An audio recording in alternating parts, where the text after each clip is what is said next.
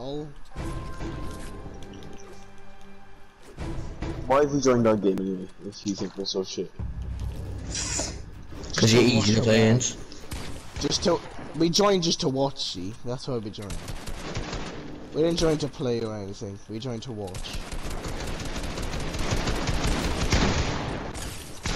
It's not a build.